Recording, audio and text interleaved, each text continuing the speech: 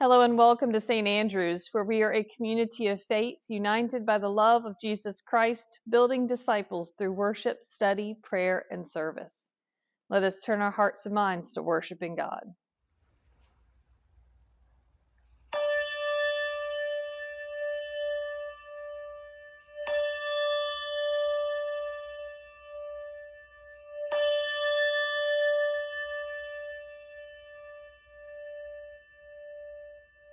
Let us pray. Open us, Holy One, to your word and to your way. Clear our mind of daily distractions. Fill our hearts with the humility we need to hear and receive the message you intend for us today. And after having heard, send us out to go with your word upon our lips and your needs in our hands. In Christ's name we pray. Amen. Our scripture reading today comes from the book of Acts as we're continuing to follow along with Peter, um, the Apostle Peter, um, after the resurrection of Christ.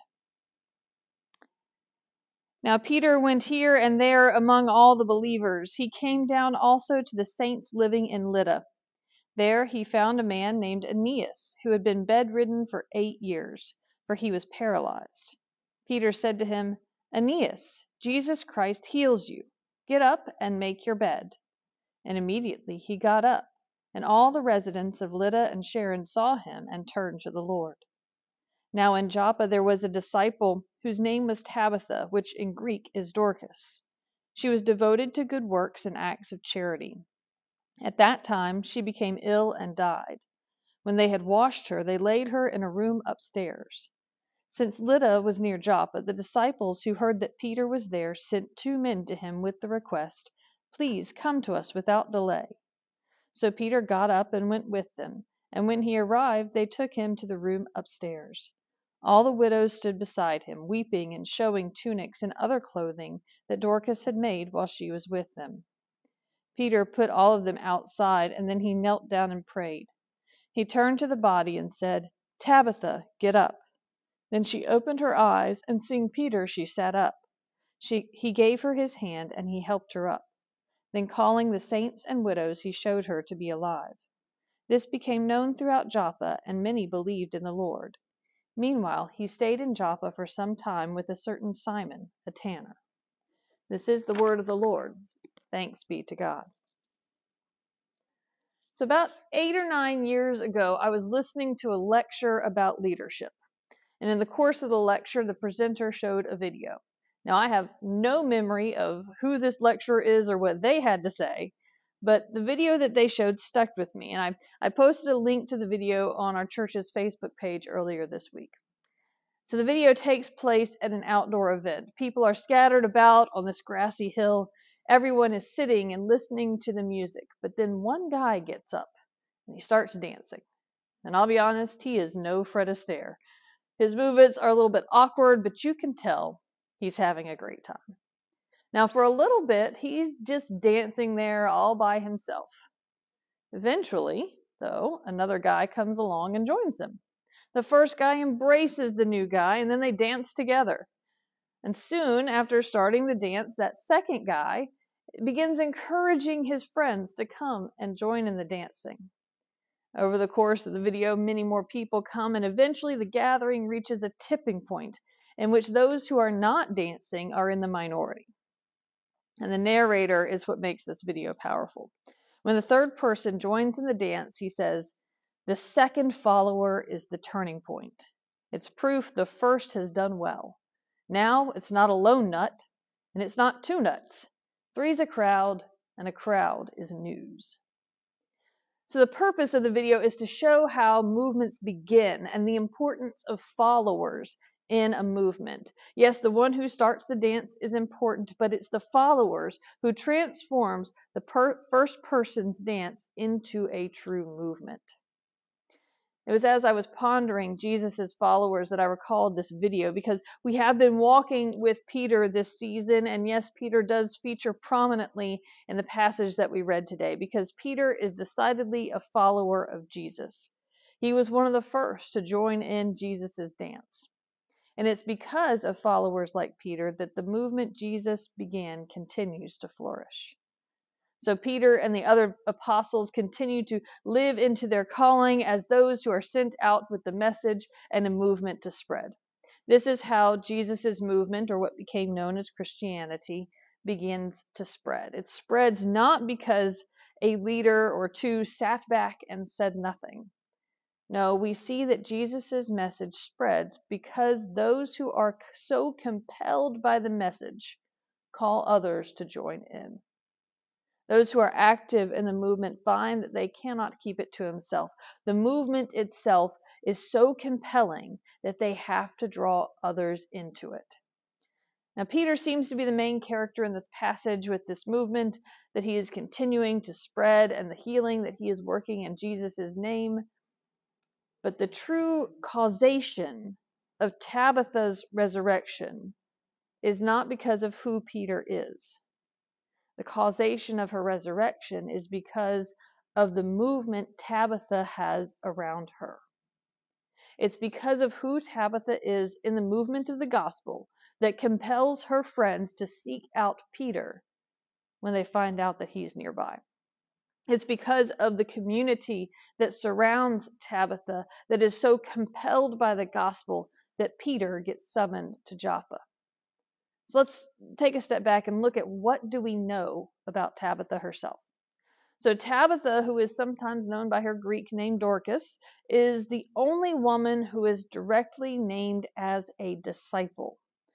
Now, we don't know if she met Jesus or if she was one of the many women who followed him around in his ministry. She doesn't show up in any of the gospel accounts by name, but there are multiple references to women who followed Jesus around and were a part of his ministry. So we don't know how Tabitha fit in, but since she is given this designation of disciple, we can know that what she does and who she is is animated by her commitment to following Jesus. So Tabitha, as a follower of Christ, has continued the movement in her own way, feeding off of her own unique skill set. While being a follower of the movement of the gospel, she is also creating her own dance of ministry. Her compassion for the widows in her area stems not only from her ability to empathize with them as a woman herself, but also from her identification as a disciple of Christ, one who follows his way. See, widows in this time were the most vulnerable population in the patriarchal society of the time. A woman without a male relative to speak up for her or to provide for her was essentially destitute. Options for women to make her own, make their own way in that society were very limited. But was Tabitha one of those women that was able to make her own way? We don't know. She's not identified as a widow, nor is she identified as a spouse to someone else.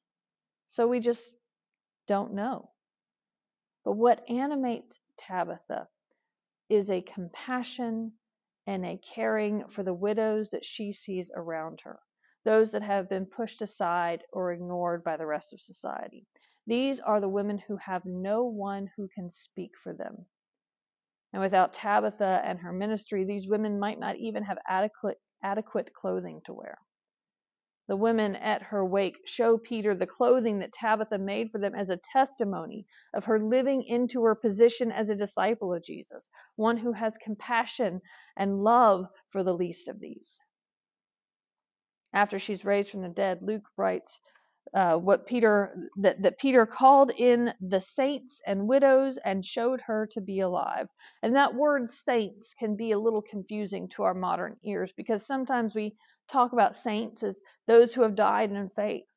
But the meaning here seems to be that those who have joined in the movement of Christianity, are saints, those who have joined in the movement of being followers of Christ. These are the ones who have so embraced the move, movement of God at work through Jesus Christ that they are living in a new way.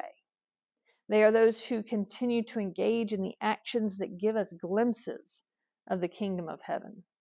So when Peter shows Tabitha to be alive to the saints and the widows, he is showing Tabitha to to be alive to all those who have been compelled by the gospel message to join in this movement. These are those who have seen the dance that Jesus leads us in. These are those who have seen the dance and decided to join in. These are the people who feel so compelled by the message of Christ that they cannot help but wave over their friends to join them. They cannot help but share the joy and the work that the gospel calls them to do. And because Tabitha, one of the dancers, is returned to them, the group of saints and widows can continue to be about the work of birthing the kingdom of heaven one garment at a time, one widow saved from destitution at a time, one saint at a time. After she is raised from the dead, we no longer hear what Tabitha did. We can assume that she continued her works of compassion. We can also assume that at some point she died again. At some point, her labor was complete and her time on earth was done. But I want you to know that I have met Tabitha in every single church I've ever been to. I've met women who are so compelled by the freeing message of Christ that they cannot help but work to help those in need. These are those who continue the legacy of Tabitha, the casserole makers, the teachers, preachers, the mourners, the dancers, the singers, the handywomen, all those who seek to continue the dance began by Christ. All those who are compelled by the message that God loves us.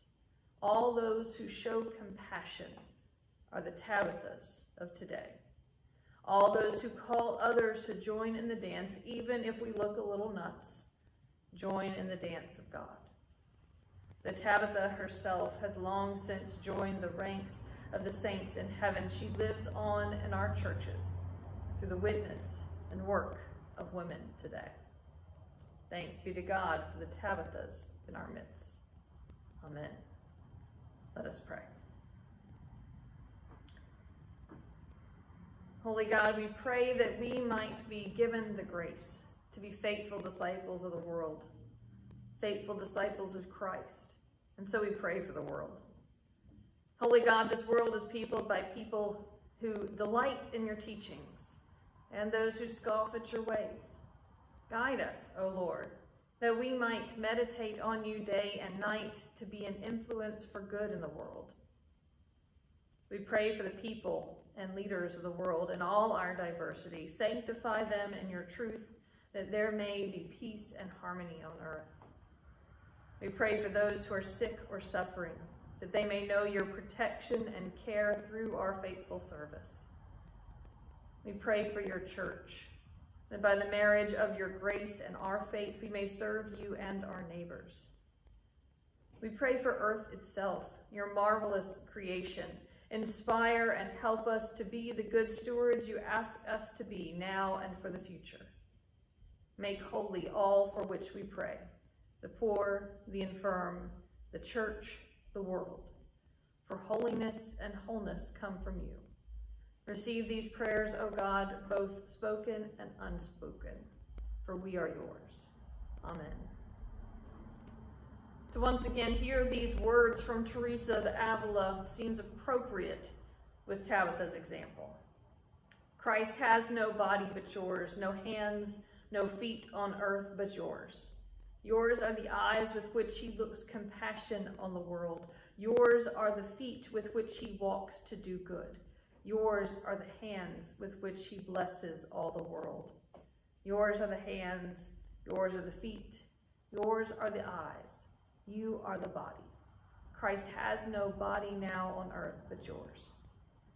Friends, together we are the resurrected body of Christ in the world, and wherever we go, However we live into that call, the risen Christ will be with us all. God's love will surround us, and the Spirit will breathe new life into our weary souls. So go from this place, and may the Lord bless you and keep you. The Lord be kind and gracious to you. The Lord look upon you with favor and give you peace. Amen.